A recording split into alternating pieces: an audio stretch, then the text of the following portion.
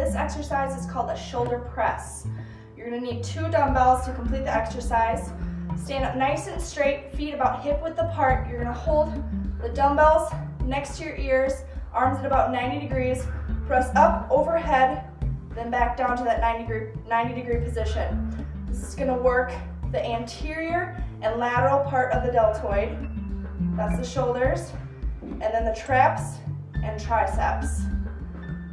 Repeat this for about 10 to 15 repetitions.